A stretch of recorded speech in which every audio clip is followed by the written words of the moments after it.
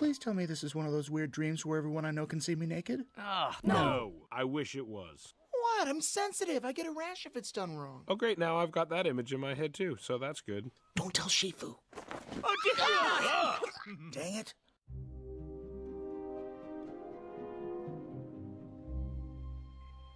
Master Oogway, my dear departed friend. In the 500 years since you brought Kung Fu to the valley, we have never known such peace. Thanks to the Dragon Warrior. Even though he still can't wash his own underpants. I think he started wearing mine. They feel a little baggy. But everything is good, and I know that I should be content, and yet Something troubles me. It's probably nothing. It's just this nagging feeling that the world's about to be consumed by darkness. Maybe I need a hobby or a girlfriend. anyway, if there was anything wrong, you, you would give me a sign, right?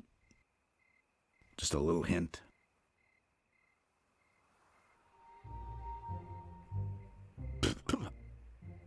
Anything at all? Oh, is that it? Great, good. I'll let you get back to your eternal peace.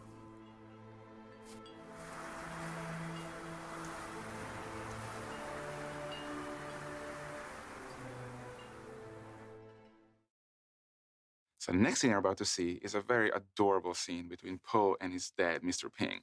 Mr. Ping brings his dirty laundry back into his room, and we loved it. And it was so cute to watch the two of them behave like true father and son.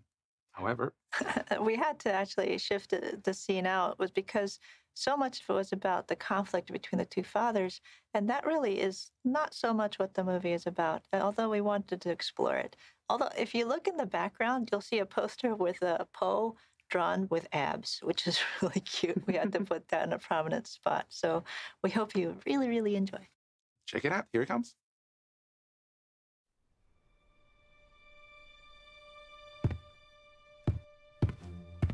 Dad? Oh. Hey, Dad. Ah, you were expecting your other dad, huh? The new one who didn't do your laundry? So, where is he? Uh, he's asleep.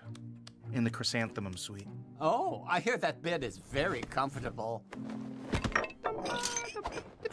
I mean, not that I would know. I've never spent a night at the Jade Palace. Po, is something wrong? What? No. No? Unlike some other fathers you may have, I've known you more than one day, huh? And I think I can tell when something is bothering you. Well, it's just my dad just got here, right? And now he's saying he wants to go, and well, here's the hardest part. He um it's um It's me, isn't it? What? No, no. You don't have to spare my feelings. I know what I did. I treated him like a stranger. I drove him away with my suspicions. I felt so threatened.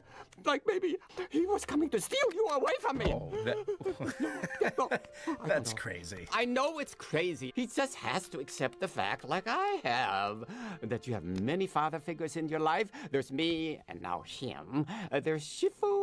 And, and Master Oogway. Oh, the turtle. Oh, I'd forgotten about him. Forgive me, Po. But maybe it's not too late. Maybe instead of driving your father away, I can welcome him like the member of the family that he sort of is, uh, uh, with a welcome banquet. What? It'll be expensive, but that's life. No, no, no, no, no, no, no, you don't have to. Oh, but I want to, son. I want to. It's the least I can do for the one who raised you for three months. I better get to work. We're talking about noodles, dumplings, buns, and more courses than you can shake a chopstick at. Oh boy.